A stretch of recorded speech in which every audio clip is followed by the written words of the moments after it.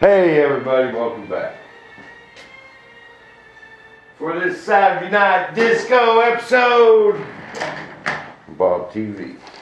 Everyone gotta go put on their old disco pants and their platform shoes. it's disco night, baby. That's what we're gonna do on the next set of wings. It's, that's, that's how we're gonna celebrate. It's gonna be disco night in the shop. I'm gonna get the mirror ball hang it from the ceiling. and put on some of them old disco tunes.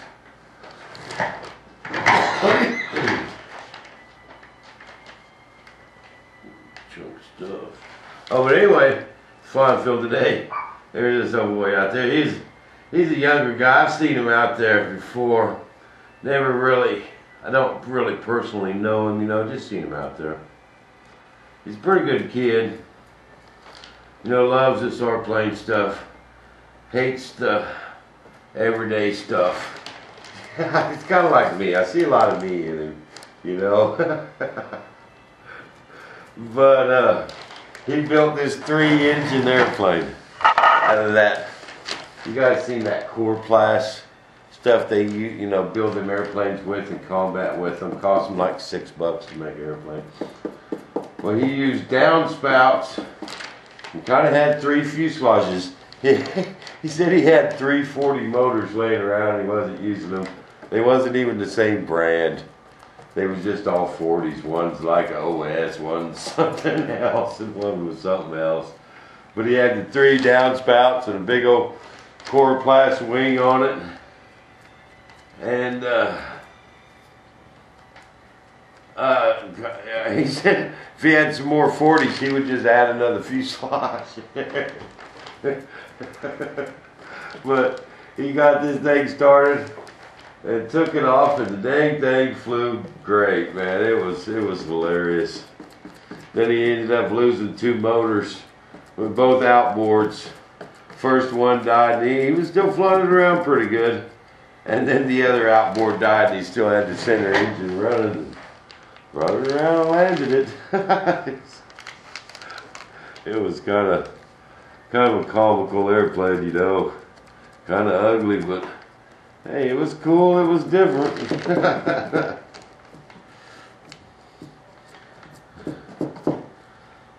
That's me right there. Kind of cool, kind of different.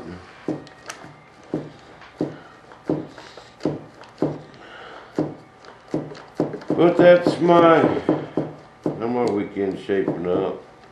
I'm ready for the disco celebration night though. How about my buddy? I want to give a shout out to my buddy down there in South Texas who uh, spent his whole summer fighting fires for you guys with the Cheyenne Rocky Mountain River Bottom Volunteer Fire Department. What's up, my buddy Kerry? I know he's ready for disco night. Oh yeah. What's them little drinks they used to carry around in them trays on in them discos? Them little shots. What was it? Oh, kamikazes. Yeah. You guys remember them kamikazes? What was in them? Uh, lime juice. What was in a kamikaze? That's what we're having. the disco night. A kamikaze, so someone needs to figure out how to make them. it's a lot, oh, we used to drink them things. Uh, lime juice and I want to say vodka, but I don't think so. Lime juice. Tell you what I love, man. It's probably my favorite drink as far as whiskey goes, or is uh, tequila slammers. Okay, you guys need to try this. Okay, you take you take a shot of tequila, uh, a shot of Seven Up and then squeeze a lime on it, put your hand over the cup and slam it down on the table. It'll just start fizzing, man. It'll just start erupting like a volcano. and you slam it. Oh yeah, baby. One night, uh, always, I was still a single. I was probably, I don't know. I'm going to say 21 just for the legal aspect of it. but, uh, buddy of mine went to Mexico. Brought back one of them great big old bottles of tequila, man. It was like a half gallon. And uh, we sat around my house, me, him, and about six other guys. me, him, and about six other guys was sitting around, you know. I had kind of furniture on three sides of this room. And we were sitting around and we drank that, almost that whole bottle of tequila, man. We was hammered. And I had to work the next day. Oh yeah. I was working for these one of boys. They's kind of cool guys. They was like uh, leftover hippies from the 60s, you know. Mark. Mark used to walk around saying, bitchin', man. that was bitchin'. but the next morning, oh, they used to just walk in my house. You know, they was actually pretty cool guys. But uh, they walked in, and everyone was passed out exactly where they was sitting the night before.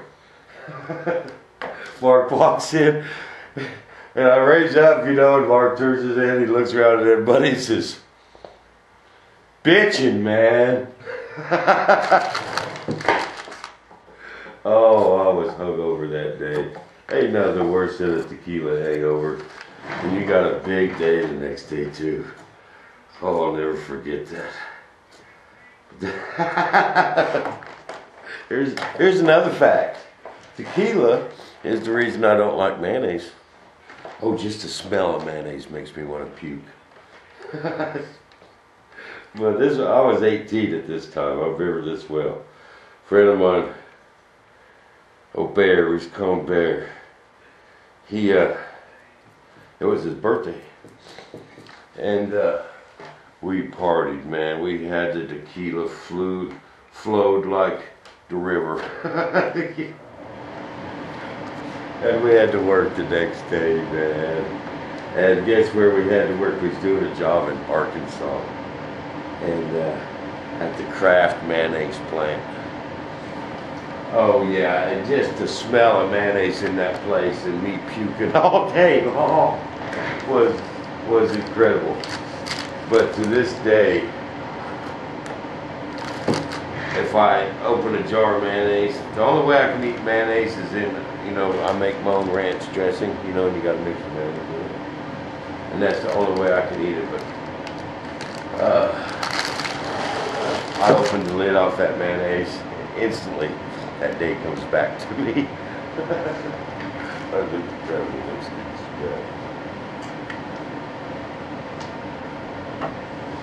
I'm doing, took you a little on that end, but I left some pieces out.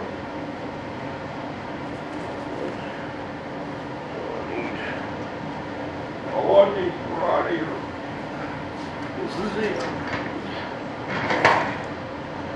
This is all I need.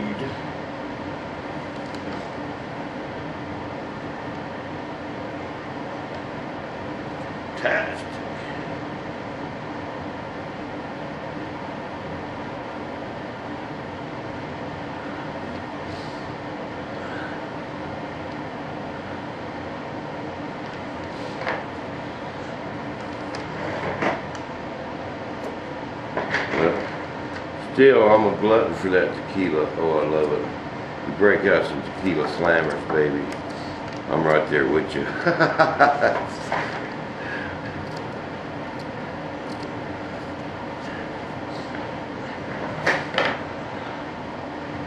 Bitchin', man.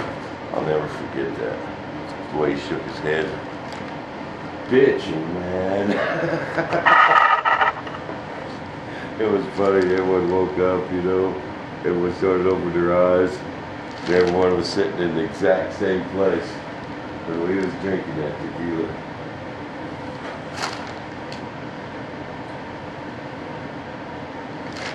That was in the wild days. Oh, Bob, don't do that anymore.